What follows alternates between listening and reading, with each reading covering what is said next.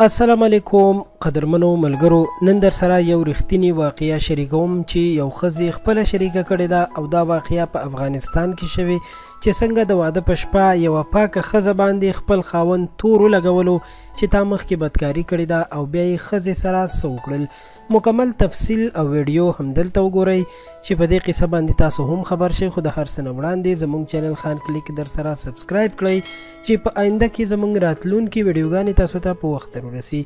قدرمنو ملګرو دا واقعیا په افغانستان کې شوې او زموږ یو ملګري موږ سره شریکه کړې ده چې د یو جینۍ او هلک واده وشو د واده په اولنۍ شپه باندې چې کله شپه پخه شوه نو هلک د حجرې نه ووتو په دې غرض چې خپلې کوټې ته لاړ شي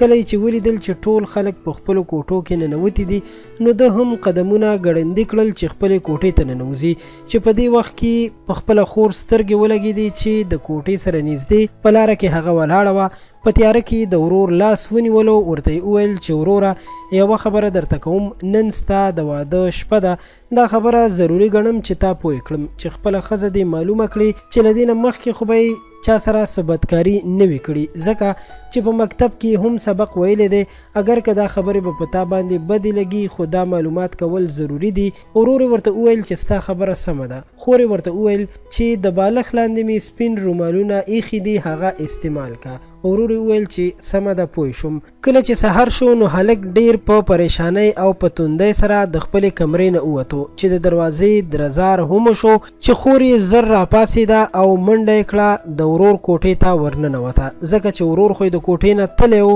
ویې لیدل چې ناوې په ډیر بد حالت کې پرته ده د هلک مور هم راغله او د جینۍ کورنۍ ته یې خبر ورکو د جینۍ یعنې ناوې مور هم راورسېده ویې لیدل چې د جینۍ حالت ډېر زیات خراب دی خو مور یې ترېنه پوښتنه وکړه چې ما خو پوه که څه چل شوی ناوي لور یې ورته وویل چې نه پوهېږم خو خاون مې راغی او زما میاشتینۍ بیماري وه زما هغه د میاشتینۍ بیمارۍ کپړۍ ولیدله او ویې ویل چې تا خو د مخکې نه ځان خراب کړی دی یعنی ستا د بکارت پرده شلېدلې ده دې سره یې ماته درې طلاقه راکړل او زه بیا په ځان باندې نه یم پوه شوی مور یې ورته وویل چې آیا تا د خاوند سره څه خبرې وکړې؟ دغه جینۍ وویل چې خاوند مې ماته بالکل دا موقع رانه کړه چې زه ورته د دې خبرې تفصیل بیان کړم چې د جینۍ میاشتینۍ بیماري هم راځي. خو خیر د جینۍ ژوند خو برباد شو، خو زه هغه ټولو خویندو میندو ته وایم چې ورونه او بچي مو غلط مه پویوئ، ستاسو کور ته چې کومه جینۍ راځي هغه هم د چا خور او لور ده، هیڅکله د یو چا د کور د بربادۍ کوشش مه کوئ او که ډېر مو په زړه کې بغض او کینه وي نو بیا ولې ورور یا زوی له ښځه کوئ بیا ورله بیخي ښځه مه کوئ ټول عمر دې همداسې مجرد او یا لونډ ګرځي نو ښه به وي قدرمنو دا وه زموږ د نن ورځې ویډیو دا یو ډېر مهم پیغام او غوښتل مو چې دا واقعیت تاسو سره شریک کړم او تر تاسو یې درورسوم چې په تاسو کې څوک داسې غلطي ونه کړئ ویډیو درسره لایک کړئ او خان کلیک چینل هم سبسکرایب کړئ چې په آینده کې زمونږ راتلونکي معلوماتي په زړه پورې او ښایسته ویډیوګانې تر تاسو په اسانۍ درورسي تر بیا مو په لوی الله سپارم د خدای په امان